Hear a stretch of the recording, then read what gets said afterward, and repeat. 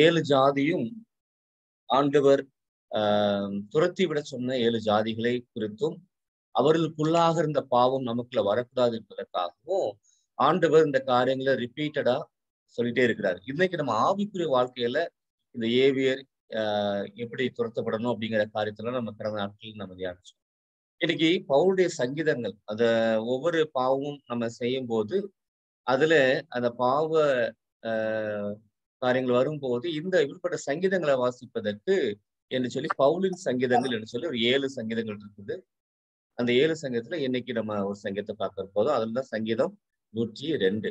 இல்ல இதுல நம்ம ஏபியுடைய பாவங்களை குறித்து நம்ம நேற்று பார்த்தோம். துராசனை பிணைக்கும் இருதயம். இல்ல ஆஹ் அவங்களுக்குள்ளாக இருந்த இன்னொரு கூடிய பாவம் என்ன? பேராசை. அதனால அந்த இருதயத்துல அவங்க செய்யற காரியங்கள்லாம் அவங்களோட பேராசையாக எப்படி மாறுதுங்கிறதையும் நம்ம நேற்று பார்த்தோம். ஸோ இதுல சங்கீதம் நூற்றி ரெண்டு நம்ம பார்க்குறோம் வென் லைஃப் ஓவர்வெல்ம்ஸ் யூ இல்ல நம்ம அதை ஓவர் கம் பண்ணும்போது நமக்கு வருகிற அந்த அழுத்தங்கள் மன அழுத்தங்களா இருக்கலாம் அல்லது இந்த பாவங்கள் வரும்போது எந்த அளவுக்கு ஆஹ் இந்த சங்கீதக்காரர் எழுதும் போது எந்த அளவுக்கு நொறுக்கப்பட்டார் இந்த அளவுக்கு அந்த பாவத்துடைய விளைவுகள் இருக்குது அப்படின்னு சொல்லி நம்ம பார்க்கணும்ல ஒருவேளை அப்படிப்பட்ட பாவத்துக்கு நம்ம போகும்போது அப்படிப்பட்ட காரியங்கள் செய்யும் போது ஆண்டவர் இதுல அவர் கூடவே இருக்கிறார் என்பதையும் அவர் உணர்கிறத நம்ம பார்க்கிறோம்.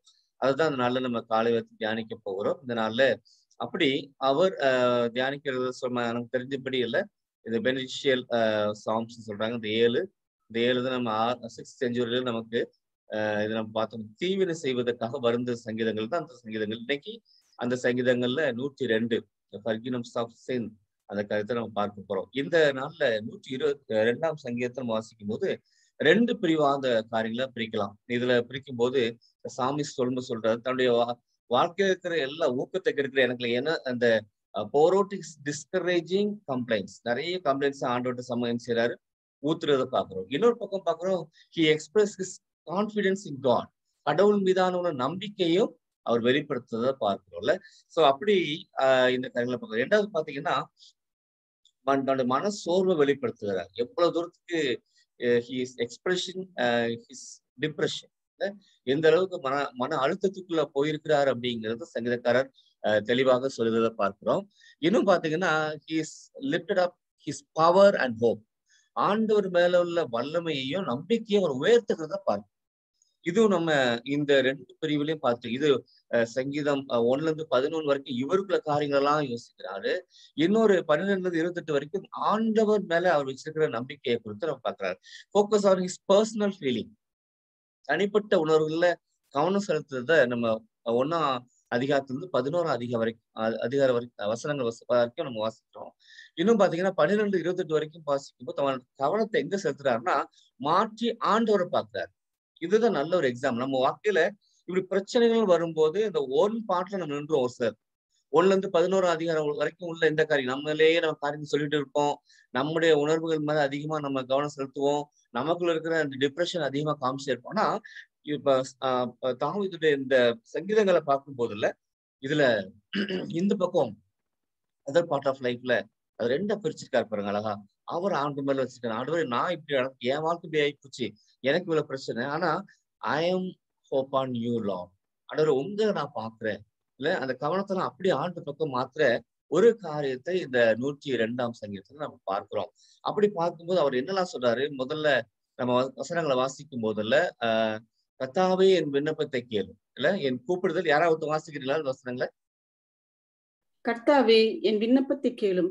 என் கூப்பிடுதல் உம்மிடத்தில் சேர்வதாக. என் ஆபத்து நாள் ஆபத்தில் ஆபத்து நாளிலே உமது முகத்தை எனக்கு மறையாதேயும். உமது செவி என் இடத்தில் சாயும்.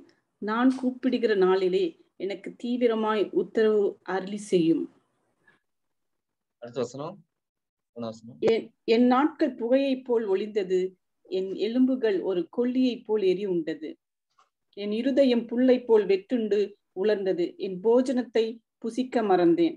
என் பெருமூச்சின் சத்தத்தினால் என் எலும்புகள் என் மாம்சத்தோடு ஒட்டி கொள்ளுகிறது இதுல சொல்லும் போதுல என் லைஃப்ல என்னென்னலாம் நடந்துச்சுங்கிறத தான் லைஃப்ல உள்ள அந்த காரியத்துல அந்த மன அழுத்தத்துல ஆண்டு சமூகத்துல சொல்றத பார்க்க ஒரு நம்ம லைஃப்ல கூட நேரத்துல போகும்போதுல இப்படிப்பட்ட ஒரு மன அழுத்தத்துக்குள்ள போகும்போது ஆண்டவரே ஜபத்தை கேளு. என் கூப்பிடுதல் என்ன செய்யணும்? சரி ஆண்டவரே உங்களுக்கு செவியை மறைச்சிட்டாதீங்க சுவாமி. ஆனா நான் கூப்பிடுறதுனால எனக்கு என்ன செய்யுங்க? தீவிரமா வாங்க உத்தரவு உடனே வாங்க சுவாமின்னு சொல்லி அப்படி பாக்குறத பார்க்கணும் இதுல வந்து நம்ம பார்க்கும் போதுல அடுத்து பாத்தீங்கன்னா வனாந்தரை வனாந்தர நாரை கூப்பானே என் வாழ்க்கை. இல்ல? அப்புறம் வந்து பாலான இடங்களை தங்கும் ஆந்தே போலானேன். நான் நித்திரை இல்லாமல் வீட்டுல தடுத்திருக்கும் குருவியை போல இருக்கிறேன். இப்படி வந்து நான் எப்படி இருக்கிறேன்? என் நிலைமை என்ன? அப்படிங்கறத சொல்லிட்டு இருக்கிறார்ல. அது அந்த டிப்ரெஷன் வந்து த கிரை ஃப்ரம் த கிரைசிஸ்ல நம்ம லைஃப்ல ஒரு கிரைசிஸ் வரும்போது always cry to the Lord ஆண்டு சமூகத்துல போகும்போதுல அவன் சொல்லும் போது இதுல இந்த வசனங்களை பார்த்தீங்கன்னா lost his connection with God ஆண்டவரோடு உள்ள தொடர்பு துண்டிக்கப்பட்டதை அவன் நினைச்சுதான் உணர்ந்து அழுகிறத பார்க்கிறோம் நம்ம ஒருவேளை என்னைக்கு நம்ம பாவத்துல இப்படிப்பட்ட ஒரு ஏபியோடைய பாவங்களையோ பிரிஷியருடைய பாவங்களையோ அல்லது நம்ம பார்த்த இந்த ஜாதிகளுடைய பாவங்களையோ விழும்போது நம்ம செய்ய வேண்டிய மிக முக்கியமான காரியம் என்னன்னா I am I am lost his connection இல்ல lost is our connection with God அப்படிங்கறத நம்ம என்ன செய்யணும்? ஒவ்வொரு நாளும் மறந்து போகக்கூடாது.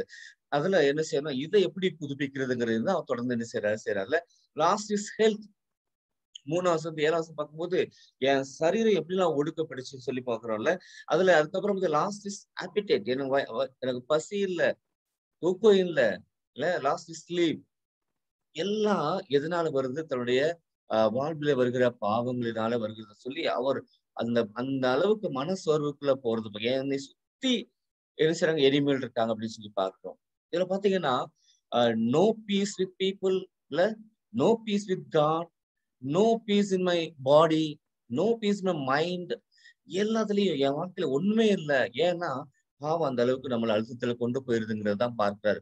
அதான் அவர் புலம்புகிறத பார்க்கிறோம் ஆனால் இப்படிப்பட்ட சூழ்நிலை எனக்கு உதவி செய்யுங்கன்னு சொல்லல. இதுல வந்து சொல்றாரு நாரைக்கு நான் ஒப்பாவேன். பாலான இடங்கள தங்கும் ஆந்தே போலானேன் நான் நித்திரை இல்லாமல் வீட்டில் தளித்திருக்கும் குருவியை போலானேன்னு சொல்லி இந்த காரியங்களை இன்னும் அழுத்தமாக அவர் சொல்ற பார்க்கணும். இந்த பேர்ட் லாங்குவேஜ் ஆஃப் டிப்ரெஷன் சொல்லுவாங்க. அது என்னன்னா மனசோர்வின் பறவை மொழின்னு சொல்லுவாங்க. இதுல அந்த படங்கள் படங்களை பாத்தீங்கன்னா உங்களுக்கு புரியும்.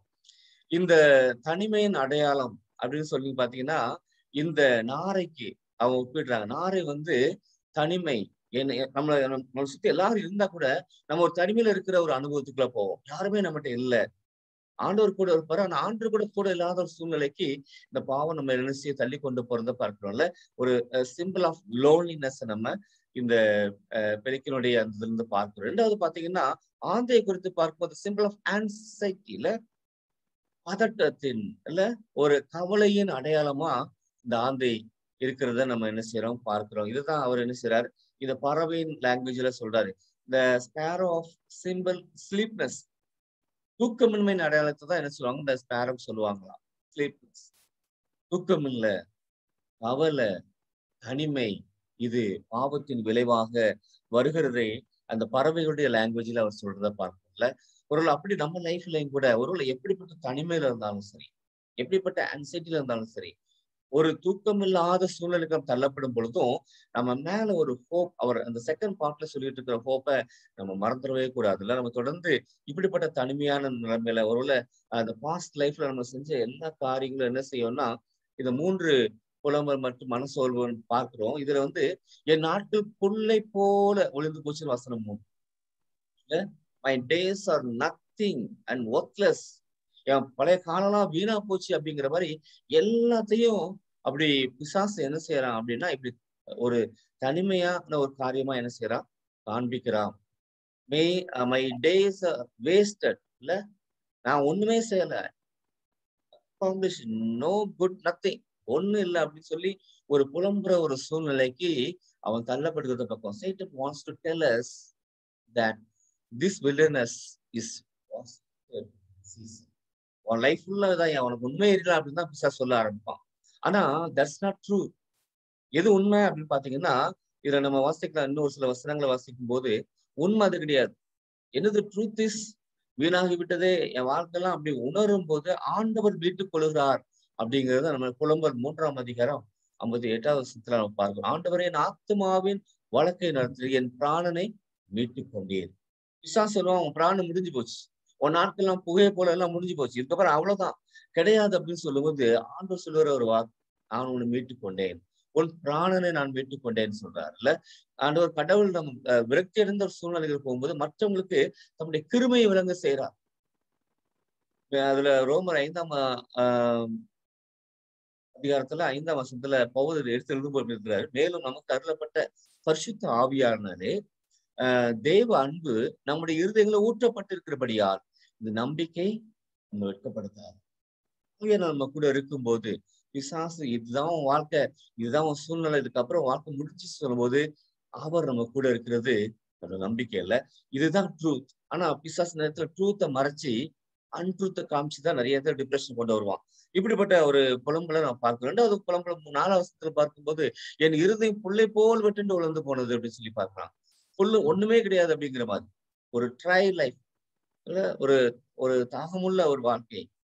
Devil wants to tell us that our faltering strength cannot be renewed என் வாழ்க்கை இது புதுப்பிக்கப்படவே முடியாது. இதுக்கப்புறம் என் வாழ்க்கை இதோட முடிஞ்சிச்சு. பிள்ளை போல எல்லாம் முடிஞ்சு போச்சு அப்படின்னு சொல்லி தன்னுடைய பிரசன்ட் வாழ்க்கை லைஃப்ல சொல்லும் போதும் நம்ம சொல்ல வேண்டியது தட்ஸ் ட்ரூ சூழ்நிலைகளை பொருட்படுத்தாம கடவுள் தமது சொந்தத்தை நிலைப்படுத்த பார்க்கணும் நம்முடைய அப்பா பிதாவு என்று அழைக்கிற ஒரு புத்திர சிவகாரத்தை கொடுத்து அவர் சொல்லும்போது ஏசாய நாற்பத்தி ஆறு நாள்ல சொல்லும்போது உங்கள் முதிர் வயது வரைக்கும் நான் அப்படியே செய்வேன். நரை வயது மட்டும் நான் உங்களை தாங்குவேன். நான் அப்படி செய்து வந்தேன். இனிமேலும் நான் ஏந்துவேன். நான் சுமப்பேன் தப்புப்பேன் சொல்ற ஆண்டவர். எல்லாம் முடிஞ்சு போச்சுன்னு பிசா சொல்ற டைம்ல அப்படிப்பட்ட ஒரு மன அழுத்தத்தை கொண்டு போகும்போதுல நம்ம சொல்ல வேண்டியது அவர் சொந்தத்தை என்ன செய்யறார் நிலைநிறுத்துகிறார் தாகம் உள்ளவர் மேல் கடவுள் என்ன செய்யறாரு ஒரு ஒரு புதுப்பிக்கிற ஒரு அனுபவத்தை பார்க்கிறோம்ல. யோவான் ஏழாம் அதிகாரம் முப்பத்தி ஏழு முப்பத்தி எட்டு வருஷங்களை பார்க்கிறோம்ல. ஆஹ் பண்டிகையின் கடைசி நாளாகிய பிரதான நாளில் இயேசு சத்தமிட்டு ஒரு தாகமா இருந்த இடத்துல வந்து வானமன கடவுள். ஒரு தாகத்தோடு இருக்கும்போது என் வாழ்க்கை ட்ரையா இருக்கும்போது நம்ம யார்கிட்ட போகணும் அப்படிங்கிறதான் ட்ரூத்ல இவன் நீ யார்கிட்ட போனாலும் உனக்கு உன் வாழ்க்கையில ஒரு செழிப்பு வராது அப்படின்னு சொல்லி சொல்ற பிசாசு சத்தத்தை கேட்காம அந்த அந்த ஜீவ ஊட்டாகி அவட்ட போகும்போது வேத வாக்கியம் சொல்றபடி என்னிடத்தில் விசுவாசமா இருங்கள். எவனோ விசுவாசம் இருக்கிறவன் எவனோ அவன் உள்ளத்திலிருந்து ஜீவ தண்ணீர்ல நதிகள் ஓடும் சொல்லிப்பார். அப்படி ஜீவ தண்ணீர்ல காரியங்கள் உள்ள ஓடும் போது அந்த பெரிய காரியங்களை செய்வார்ல. ஆனா விசா சொல்லும்போது அப்படிலாம் ஒண்ணுமே நடக்காது. உன் லைஃப் முடிஞ்சிச்சு. அது புள்ளை போல போச்சுன்னு சொல்லி அவங்க லைஃப்ல இந்த ப்ரெசன்ட் லைஃப்லயும் சொல்ற பாக்குறோம் ஃபியூச்சர் லைஃப்ல கூட அவங்க கொடுக்குற பயம் என்ன அப்படின்னா அப்படியே ஒரு புலம்பல கொடுக்குறது. என் நாட்கள் சாய்ந்து போற நிலையில போல இருக்கிறது. My days are like evening shadow means that சாமி சொல்றாரு lost sight sight of whole picture என் லைஃபுடைய ஃபியூச்சரே எனக்கு மறந்து போச்சு இல்ல? அதுக்கப்புறம் என் லைஃப்ல ஒண்ணுமே இல்லை அப்படிங்கிற சூழ்நிலைக்கு போகும்போது தட்ஸ் நாட் ட்ரூத் அது என்ன சொல்றாரு ஆண்டவர் சொல்லும்போது ஆஹ் நம்முடைய துன்பம் மேன்மையாகவும் மகிமையாகவும் ஏற்படுத்தப்படும். ஒருவர் அப்படிப்பட்ட சூழ்நிலைக்குள்ள போகும்போதுல காணப்படுகிறவர்கள் அல்ல காணப்படாதவைகளை நோக்கி இருக்கிற நமக்கு அதி சீக்கிரத்துல நீங்கும் லேசான உபத்திரவும் மிகவும் அதிகமான நித்திய கன மகிமை உண்டாக்குறது சொல்லி அழகாக பவுல் தெரிவிக்கிறார் ரெண்டு குழந்தைகள் நான்காம் அதிகாரம் பதினேழுல வாசிக்கிறோம். நமது அனுபவங்கள் நல்ல பலன் நல்ல கனிகளை தரும். நல்ல பலன்கள் ஒரு க- அதிக தரும் சொல்லி எபிரேயர் பனிரெண்டு பதினோரு வாசிக்கும் போது எந்த சிற்சையும் தற்காலத்திலே சந்தோஷமாய் காணப்படாமல் துக்கமாய் காண காணும்.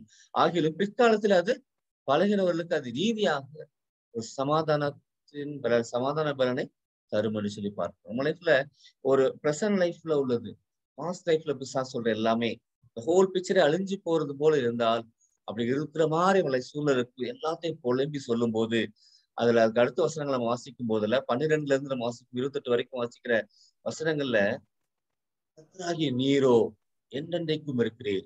உங்களுடைய பேர் பிரஸ்தாபம். தலைமுறை தலைமுறையாக நிற்கும் சொல்லி அப்படியே நேர அப்படியே டேர்ன் பண்றான் ஆண்ட பக்கத்துல. ஆண்ட நோக்கி பார்க்கும்போது தேவரீர் எழுந்தள்ளி சீவனுக்கு இறங்குவீர்.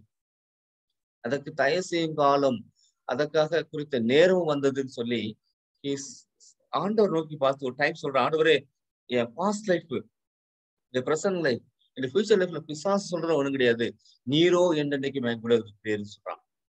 இந்த ஒரு நம்பிக்கை இந்த ஒரு விசுவாசம் ஆண்டவர் மேல நம்ம இருக்கும் போதுல அவர் சொல்றான் இன்னும் அஹ், ஆண்டவர் சொல்லும்போது கத்த சியோனை கட்டி அவர் மகிமை வெளிப்படுவார் திக்கற்றவருடைய ஜெபத்தை அலட்சியம் பண்ணாமல் அவர்கள் விண்ணப்பத்தை அங்கீகரிப்பார். நீர் விண்ண ஜெபத்தை கேட்கிறவர் ஆண்டவரே. இந்த விண்ணப்பத்தை விண்ணப்பத்தெல்லாம் அங்கீகரிக்கிற ஆண்டவர் சொல்லி சொல்றதை பார்க்கலாம் அப்பொழுது ஜாதிகள் கத்திரி நாமத்துக்கும் பூமியில ராஜாக்கள் எல்லாம் உடைய மகிமைக்கு பயப்படுவார்கள் சொல்லி பெண் சந் இது பெண் சந்ததிக்காக எழுது எழுதப்படும் சிருஷ்டிக்கப்படும் ஜனம் கத்தரை துதிக்கும் கத்தர் கட்டுண்டவர்களின் பெருமூச்சை கேட்கவும் கொலைக்கு நியமிக்கப்பட்டவர்களை விடுதலையாக்கவும். அவர் உயர்ந்த பரிசுத்த ஸ்தலத்திலிருந்து பார்த்து வானங்கிலிருந்து பூமியை கண்ணோக்கமானார். நம்மளை பார்க்கிற ஆண்டவர் இஸ் த காட் ஆஃப் சீயர்ல நம்ம பார்க்கிறவர் வந்து ஹீப்ரல் பார்க்கும்போது ரான்னு சொல்லிப்போம் ஆர்ஏஏஹெச் எகோவார் ரா அப்படின்னா ஆண்டவர் என்னை பார்க்கிறவர். என்னை பார்க்கிற ஆண்டவர். எவ்வளவு பார்க்கிறார்? என்னுடைய குறைகளை பார்க்கிற ஆண்டவர். அதுல எப்படி நிறைமை செய்வார் சொல்லி பார்க்கிற ஆண்டவர். அவர் பூமியின் மேல் கண்ணோக்கமானார். இது வந்து நம்மளை கீழே நோக்கி பார்க்கிற ஆண்டவர்ல நீங்களும் நானும் ஆராதிக்கிற ஆண்டவர். அவ்வளவு பெரிய ஆண்டவர் சொல்லி அவனது அறிக்கை செய்யறத பார்க்கிறோம். அப்படி சொல்லும் போதுல he praising the Lord who fills up fine ஆண்டவர் ரெகனைஸ் பண்றான் எதெல்லாம் இருக்கு நாலு விதமான காரியங்களை அவர் ரெகனைஸ் பண்றது recognise the everlasting God அவர் என்றென்றைக்கும் என் கூட இருக்கிற ஆண்டவர் சொல்லி பன்னெண்டாவது வாசிக்கிறோம். Recognising the favour of God to Jerusalem அவர் எருசலேமுக்கு எப்பொழுதும் இந்த பதிமூணாம் வசனம் பதினாலாம் வசனம் யாராவது வாசிங்க? தேவரீர் எழுந்தருளி சீயோனுக்கு இறங்குவீர் அதற்கு தயை செய்யும் காலமும் அதற்காக குறித்த நேரமும் வந்தது. உம்முடைய ஊழியக்காரர் அதன் கல்லுகள் மேல் வாஞ்சை வைத்து அதன் மண்ணுக்கு மண்ணுக்கு பரிதவிக்கிறார்கள். ஆண்டவருடைய அந்த காரியங்கள்லாம் பார்த்துல அவன் ஆண்டவரை துதிக்க பார்க்குவான் ஆண்டவர் இது தயவு செய்கிற காலம் வந்துச்சு எனக்கு. Recognising God's exaltation among the nation தேசங்களிலே ஆண்டவர் எவ்வளவு பெரியவரா இருக்கு எனக்கு எவ்வளவு காரியங்களை செய்யறேன்னு சொல்லி பார்க்கிறது ஆண்டவர் recognise the great deliverance God brings என் லைஃப்ல எப்படிப்பட்ட டெலிவரன்ஸ் எல்லாம் ஆண்டவர் அது கொண்டு வர்றாரு அப்படிங்கிறதையே நம்ம இதுல சேரும் பார்க்கணும் இதுதான் நம்ம வாசிக்கும் போது கர்த்தருக்கு ஆராதனை செய்ய பன்னெண்டாம் வாசிக்கும் போது ஜனங்களும் ராஜ்யங்களும் ஏகமாய் கூடி வந்திருக்கையில் சியோனில் கத்துடைய நாமத்தையும் எருசலேமே அவருடைய துதிகளையும் பிரஸ்தாபப்படுத்துவார்கள். வழியிலே என் பலனை அவர்கள் ஒடுக்கி என் நாட்களை குறுக பண்ணினார்கள் அப்பொழுது நான் என் தேவனே பாதி வயதில் என்னை எடுத்துக்கொள்ளாதே. உம்முடைய வருஷங்கள் தலைமுறை தலைமுறையாக இருக்கும். நீர் ஆதியிலே பூமி அஸ்தபாரப்படுத்தினீர். அப்படின்னு சொல்லி நீரோ நிலத்திருப்பீர். உம்முடைய கரத்தின் கிரியைகளா இருக்கிறது எல்லாம். வானங்கள் கரத்தின் கிரியைகளா அவைகள் அழிந்து போம். வானம் பூமி அழிந்து போனா நீரோ எனக்கு என் கூட இருப்பீங்கன்னு சொல்லி ஒரு ஹோப் ஃபுல் லைஃப அவங்க கூட பாக்குறோம்ல இன்னைக்கு வந்து இந்த சங்கீதம் நூற்றி ரெண்டு வந்து சாமிஸ் பாலிங் சாங் அப்படின்னு சொல்றதுக்கு வந்து இதே வசனங்களை பவுல் என்ன செய்திருக்கிறாரு? எடுத்து எழுதியிருக்கிறாரு. எங்க இருக்குன்னா ஹீப்ரு எப்ரேயர் ஒன்றாம் அதிகாரம் பத்துல இருந்து பன்னெண்டு வரைக்கும் உள்ள வசனங்களை இங்க இவன் புலம்புன அதே புலம்பலை அங்கே பண்றாரு. எல்லாம் முடிஞ்ச மாதிரி இருக்கு. திடீர்னு பார்த்தா அவன் அகைன் டிப்ரெஷனுக்குள்ள போற மாதிரி இருக்கு. வழியில என் பலனை ஒடுக்கி என் நாட்கள் ஒரு விசுவாச வாழ்க்கையே வருது. அதே டைம்ல ஒரு பிரச்சனை உள்ள ஒரு சூழ்நிலை நமக்கு அதிகமா வரும்போது இல்ல அவன் ரெண்டாவது again back to his depression அப்படிங்கிற மாதிரி தெரியுது.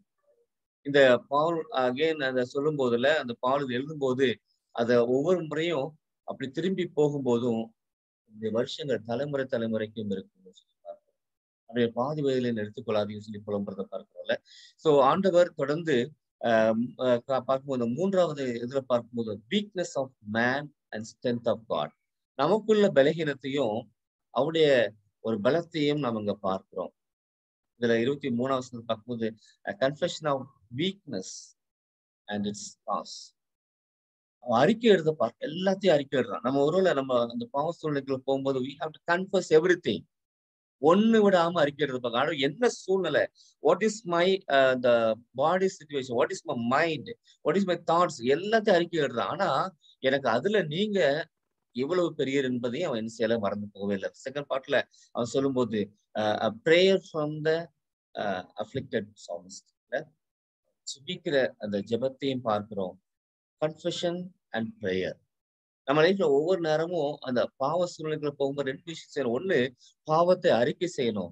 ஆண்டத்துல விண்ணப்பம் பண்ணணும். இந்த ரெண்டு விஷயத்தையும் சொல்றான். இந்த விண்ணப்பம் விண்ணப்பங்கிற விஷயமும் அடிக்கடி ரிப்பீட் ஆண்டவரை என் ஜெபத்தை கேளும். என் விண்ணப்பத்துக்கு செவி கொடும் அப்படிங்கிற வார்த்தை அவன் கடைசி வரைக்கும் சொல்லிக்கிட்டே இருக்கிறத பார்க்கிறோம்ல. ஒருவேளை இந்த இது எல்லாத்தையும் இந்த டிப்ரெஷன் வரும்போது நம்ம என்ன செய்யணும்னா ஃபைவ் நெயில்ஸ் இந்த காஃபின் பாக்ஸ்ல டிப்ரெஷன்ல போட்டு என்ன சொல்லுவாங்க கடைசியா செய்ய வேண்டியது நம்முடைய அந்த காரியத்துல இந்த டிப்ரெஷன் வரும்போது என்ன செய்யணுமா இப்படிப்பட்ட காஃபின் பாக்ஸ் ரெடி பண்ணி அஞ்சு ஆணி வச்சு அதுல அரைஞ்சு தள்ளிடணும் அப்படிங்கிறாரு. என்ன அப்படின்னு பாத்தீங்கன்னா த லார்ட் வில் ரிமைன் பன்னெண்டாம் வருஷத்தை பார்க்கும் கத்தராகி நீரோ என்றென்றைக்கும் இருக்கிற கத்தர் அழைத்திருப்பார் என்ற எல்லா சூழ்நிலைகளிலும் அவர் என்னோடு கூட இருக்கிறாருங்கிறத அவ அழுத்தி அழுத்தி சொல்றதை பார்க்க அவருடைய தலைமுறை அவருடைய பேர் பிரஸ்தாபம் தலைமுறை தலைமுறைக்கும் நிற்கும். என்ன சொல்றான்? த லார்ட் வில் ரைஸ் அவர் நிலைச்சிருப்பார் ஹி வில் ரிமைன் ரெண்டாவது the Lord raise the Lord will raise. அவர் எழுந்திருப்பார். தேவரீர் எழுந்தருளி. சீயோனுக்கு ரைஸ் அப்படின்னா எழும்புறதுல ஆண்டவர் அவர் நமக்காக எழும்புறது. சீயோனுக்கு இறங்குவீர். அதுக்கு தயசையும் காலமும் அதுக்கு குறித்த நேரமும் வச்சுட்டாரு. எவ்ரி திங் அ டைம் உங்க நேரத்துல எப்படி வந்துச்சு அப்படிங்கிறத பார்க்கணும். அவன் சொல்றான் இதுக்கு நேரம் வந்துச்சு ஆண்டவரே அப்படின்னு சொல்லி அறிக்கை செய்யறத பார்க்கலாம் லார்ட் வில் ரெஸ்டோர் அவர் மீட்கிற ஒரு ஆண்டவர் மோடு இருக்கிறார். திக்கற்றவருடைய ஜபத்தை அலட்சியம் பண்ணாமல் அவருடைய விண்ணப்பத்தை அங்கீகரிப்பார் என்று சொல்லி சொல்லிட்டு அவன் உரிமையை கொள்றான்.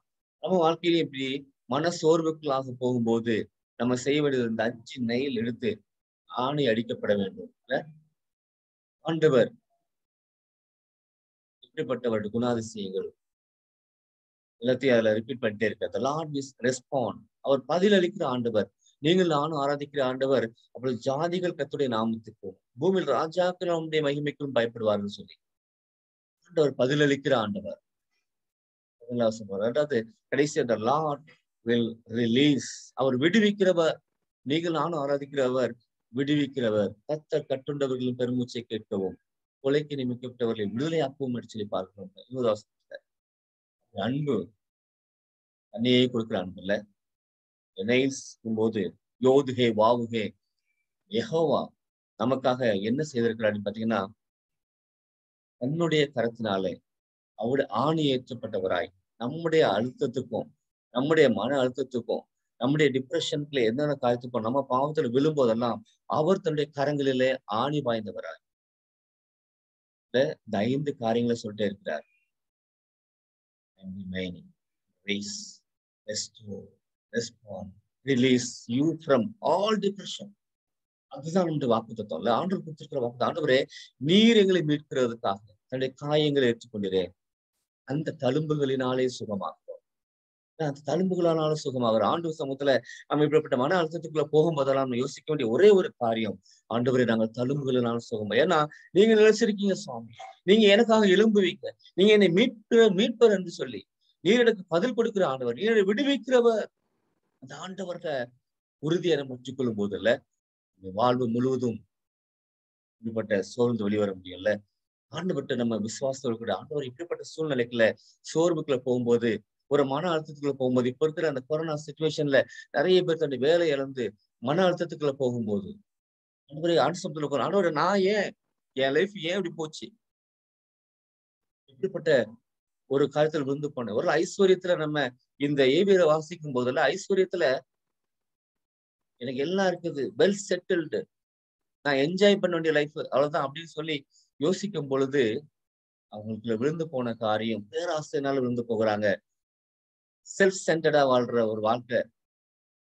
எல்லாம் வரும்போது நம்ம லைஃப்ல ஒரு அதனால தண்டிக்கப்பட்டோமோ அப்படிங்கிறத நினைவு கூறுவதற்கு தான் அந்த ஜாதிகளோடு இணைச்சு பார்க்கிறோம்ல. ஒருவேளை ஆண்டவர் நம்மை கடைசி நேரத்தில் உற்சாகப்படுத்துவது கடைசி செய்ய வேண்டியது நம்முடைய எல்லா டிப்ரெஷனையும் உள்ள போட்டு ஆணி அடிக்க வேண்டிய ஐந்து ஆணிகளில் தான். அவர் எனக்காக நிலைத்திருக்கிறார். அவர் எழும்புவார். மீட்பார். பதிலளிப்பார். அவர் விடுவிப்பார். உங்களை என்னையும் எல்லா சூழ்நிலிருந்து விடுவிக்கிற ஒரே ஒரு ஆண்டவர் உண்டு. அதான் நம்ம ஆண்டவரை இயேசு கிறிஸ்து இந்த காலவெளியில உற்சாகப்படுத்துகிற ஒரே ஒரு வார்த்தை. அவர் நம்மை விடுவிக்க ஆண்டவர். ஐந்து காரியங்களும் நம்ம விசுவாச அறிக்கையா நம்ம சொல்லும் போதில்ல ஆண்டு சமூகத்துல ஆண்டவரை நீர் எனக்காக எப்பவும் நினைச்சிருக்கிற ஆண்டவர் சுவாமி. எனக்காக எழும்புகிற ஆண்டவர். ஆண்டவரை என்னை மீட்கிற ஆண்டவர். எனக்கு பது தருகிற ஆண்டவர். என்னை விடுவிக்கிற ஆண்டவர். காலை வேளையில நம்ம கூட இருக்கிறார் ஒருவேளை எப்படிப்பட்ட சோ சோர்வான சூழ்நிலைகள்ல நீங்க இருந்தாலும் சரி ஆண்டவர் நாள்ல சொல்றது அவர் என்னை விடுவிக்கிறதுக்காக ஆண்டவர். ஒருவேளை நம்ம நாட்கள்ல இந்த செவன் ஸ்டெப்ஸ் நம்ம பார்க்கும்போது அதுல சொல்லும் போதுல இந்த வசனங்களை நம்ம ஏற்கனவே வாசித்திருக்கிறோம். அப்படி நம்ம போகும்போதுல ஒவ்வொரு நாளும் நம்ம யோசிக்க வேண்டியது everything our world temporary இந்த உலகத்துல உள்ள எல்லா காரியமும் அது நிரந்தரம் கிடையாது. Even depression stay forever நம்முடைய வாழ்க்கையில் இருக்கிற சோர்வுகள் இந்த பாவத்தினால் வந்த விளைவுகளை இந்த சங்கீதக்காரன் எழுதும்போது அத்தனையா சொல்றான்ல only God and his word will remains இதுதான் நம்ம கூட எப்பவுமே இருக்கும் நம்ம லைஃப்ல ஒவ்வொரு நாளும் இந்த வானமும் பூமி விழுந்து போன கத்திரி வார்த்தை ஒருபோதும் விழுந்து போகாது. வார்த்தைகளை பற்றி கொண்டவர்களாய். அது மேல நம்பிக்கை வச்சுல இந்த சங்கீதக்காரன் சொன்னது போல ஃபர்ஸ்ட் பார்ட்ல அப்படியே மூழ்கி போகாதபடி இந்த செகண்ட் பார்ட்ல அவர் எப்படிப்பட்டவர்? அவர் எனக்காக இறங்குகிறார். என்னை விடுவிக்கிறவர். என்னோடு கூட இருக்கிறவர்னு சொல்லி. நம்ம லைஃப்ல செய்யும் போதுல ஆண்டு பெரிய காரியங்கள் செய்வார். உள்ள இந்த அனித்தியமான உலகத்துல நித்தியமான அந்த வாழ்வை பார்க்கிற கண்கள் நமக்கு வேண்டும். ஒருவேளை அந்த எனக்கு நம்ம பார்த்த அந்த ஏவியோட லைஃப்ல அவங்களுக்கும் அந்த ஷார்ட் என்றால அவங்க லைஃப்பும் வந்து ஃபோக்கஸா இந்த உலகத்துல உள்ள காரியத்தை கீழேயே பார்த்துட்டு இருக்கிறோம் மேல பாக்குற அனுபவமே இல்லாம இருக்கும். அப்படி ஒரே ஒரு ஜீவன் தான் பன்றி. எப்பவுமே கீழே தான் பார்க்கும் மேலேயே பார்க்காது. எப்ப மேல பார்க்கணும் சாகும் போதான் மேல பார்க்கணும். அப்படி பாக்குறவங்களா இல்ல. நம்ம லைஃப் வந்து எப்பவும் ஆண்டவரையே நோக்கி பார்க்கிற எல்லா சூழ்நிலைகளையும் அவரே நோக்கி பார்க்கிற ஒரு அனுபவம் நம்ம லைஃப்ல வரும். அதுதான் சங்கீதக்கார் சொல்றாரு. அவர் என்னை விடுவிக்கிறவர். அவர் என்னை பார்க்கிறவர். அவர் என் எல்லா சூழ்நிலை அறிந்திருக்கிற ஆண்டவர். ஒருவேளை அந்த உலகத்துல உங்களுக்கு யாருமே உங்களை பார்க்க அவங்கள பார்க்காம இருக்கலாம். ஆனா அவர் உங்களை பார்க்கிறவர் உங்கள் உள்ளந்திரைகளை பார்க்கிறவர் உங்களுக்கு என்ன தேவை நீங்க நினைப்பதற்கு வேண்டிய அதிகமா கூட வாழ்க்கையில் கிரியை செய்கிற ஆண்டவர் நம்ம ஆரம்பிச்சு கட்டுக்கிறோம். வேர்ல்டு வில் பெரிஷ் ஆண்டவுடைய வானமும் பூமி ஒளிந்து போனால் கத்திர வார்த்தை ஒரு நாளும் ஒளிந்து போகாது. அப்படிப்பட்ட வார்த்தையை நம்ம பூஜிக்க இந்த வார்த்தையை பிடித்து கொண்டு எல்லா சூழ்நிலையிலும் அவர் சமத்துல போகும்போது அந்த ஒரு பெரிய வெற்றி தருகிறார் அதுதான் அந்த சங்கீதம் நூற்றி ரெண்டுல வாசிக்கிறோம் அந்த seven step on the ladder ladder of நம்ம வாசிக்கிறதுல வந்து இந்த ஃபிஃப்த் ஸ்டெப் தான் நம்ம இன்னைக்கு பார்க்குறோம். லாங்கிங் ஃபார் ஹெவன் இன்னைக்கு நம்ம இந்த லாங்கிங் ஃபார் ஹெவன் ஆண்டவர் நித்தியத்துக்கு நம்ம போகும்போது அவர்கள் ஜபத்தை அலட்சியம் பண்ணாமல் விண்ணப்பத்தெல்லாம் அனுபவிக்கிற ஆண்டவர். ஆண்டவர் நம்ம சமூகத்துல இன்னைக்கு ஆஹ் நம்ம நித்தியத்தை குறித்து பார்க்கிறவர்களா ஐஸ்வர்ய சம்பந்தர்லாம் என்ன செய்வாங்க உலகத்துல இந்த கீழே பார்க்கிற ஒரு அனுபவம் இல்லாம அந்த மேல பார்க்கிற ஒரு அனுபவம் மேலான காரியங்களை யோசிக்கிற காரியம் நமக்கு என்னென்ன கொடுத்துருக்கிற அத்தனை ஆண்டவுடைய ராஜ்யத்தை கட்டுறதுக்காக நமக்கு கொடுக்கும் போதுல ஆண்டு நம்மளை கொண்டு பெரிய காரியங்கள் செய்கிறார் அப்படிப்பட்ட ஒரு கிருபைய நமக்கு தருவார். நம்முடைய வாழ்வுல மேல் நோக்கி அந்த ஹெவனை பார்த்து அந்த ஹெவனுக்காக ஏங்கி இருக்கிற ஒரு வாழ்க்கைய ஆண்டு தருவார். அப்படிப்பட்ட காரியத்தை ஆண்டு நமக்கு உதவி செய்யணும்னு சொல்லி நம்ம எல்லாரும் ஆண்டு சமத்துல ஒப்பு கொடுத்து யாராவது ஜெபிக்கலாம். நூற்றி இரண்டாம் சங்கீதத்துல ஆண்டு பலப்படுத்துகிற உற்சாகப்படுத்துகிற காரியம் அவர் நம்மை ஒருபோதும் கைவிடாதவர். ஓடு கூட இருக்கிற ஆண்டவர் நம்மளை ஒவ்வொரு நாளும் கரம் பிடித்து நடத்துகிறவர்ல அவர் செய்ய நினைத்தது ஒன்றும் தடைப்படாது எல்லா சூழ்நிலைகளும் அறிக்கை செய்ய முடியாது எல்லாம் நிலை பெயர்ந்தாலும் அவர் நிலைத்திருப்பார். எல்லாம் என் வாழ்க்கையை விழுந்து போனாலும் அவர் எனக்காக எழும்புவார் மீட்கப்பட முடியாத சூழ்நிலையில அவர் மீட்பரா இருக்கிறார். நமக்கு பதி செய்கிற நம்ம எப்பெல்லாம் கூப்பிடுறோமோ அப்போ பதி செய்கிற ஆண்டவரா இருக்கிறார். விடுவிக்கிற ஆண்டவரா இருக்கிறார். அந்த ஆண்டவர் ஆண்டவரே காலை வேலையில நாங்களும் இப்படிப்பட்ட மன சோர்வுக்குள்ளாக சங்கீதக்காரனுடைய அழுத்தத்துக்குள்ள போனானு அப்படிப்பட்ட அழுத்தத்துக்குள்ள போகும்போதும் உண்மை பார்க்கிற அனுபவத்தை தாரும். உங்களுடைய குணாதிசயங்களை பார்க்கிற அனுபவத்தை தாரும். எகோவா யாவே ஆண்டவர் நம்மோடு கூட இருக்கிறார். எல்லாவற்றையும் செய்து முடித்தவர் நம்மோடு கூட இருக்கிறார். ஆணி பாய்ந்த கருத்தினால் அப்படி சகலத்தையும் செய்து முடித்தவர். தம் ரத்தத்தினாலே விடுதலை உண்டு பண்ணின ஆண்டவர் நம்மோடு கூட இருக்கிறார். அந்த ஆண்டவர் சமூகத்துல ஆண்டவரே எல்லா சூழ்நிலை நெருக்கப்படும் பொழுதும் அழுத்தத்தின் போதும் நம்முடைய பிரச்சனை உள்ள நேரங்களிலும் ஆண்டவரை நோக்கி பார்க்கிற அனுபவத்தை ஆண்டவரே எனக்கும் எங்களுக்கும் தாங்கன்னு சொல்லி ஆண்டவர் சமூகத்துல எல்லா சூழ்நிலைகளும் நம்ம மறந்து போயிடக்கூடாது. ஃபர்ஸ்ட் பார்ட்லயே இருந்திருக்கூடாது செகண்ட் பார்ட்ல அவரை நோக்கி பார்த்து அவருடைய வார்த்தைகளை நோக்கி பார்த்து அவர் எனக்கா உண்டு பண்ணி வைத்திருக்கிற எல்லா காரியங்களையும் அவருடைய வசனம் வானம் பூமி ஒளிந்து போனால் அவருடைய வார்த்தைகள் ஒருபோதும் ஒளிந்து போதான் சொல்பாரு அந்த வார்த்தைகளை அதை நம்பி வாழ்ற ஒரு அனுபவத்துக்குள்ள நாங்க இன்னும் அதிகமா போகணும் சுவாமி. நம்ம எல்லாரும் அனுசமத்தோடு போய் தர நம்ம எல்லாரும் அனுசமத்தோடு ஜிபிக்கலாம்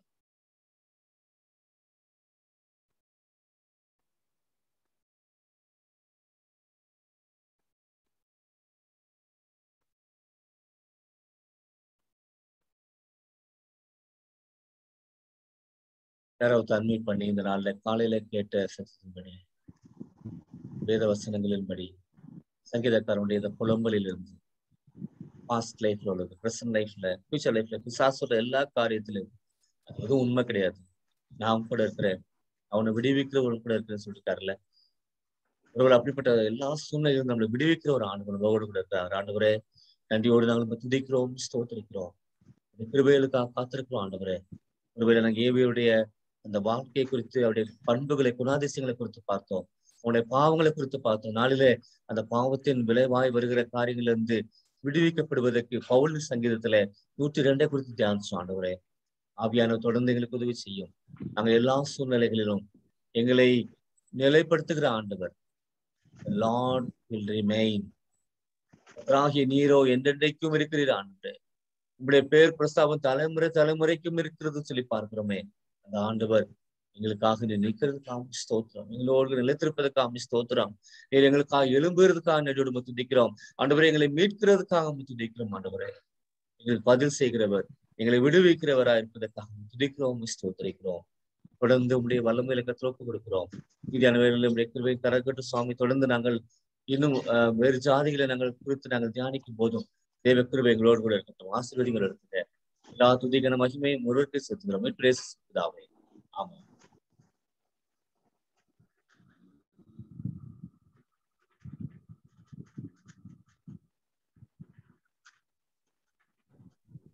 தேங்க்யூ அண்ணா. இந்த காலை வேலையில கூட ஆண்டவருடைய வார்த்தை எங்களுக்கு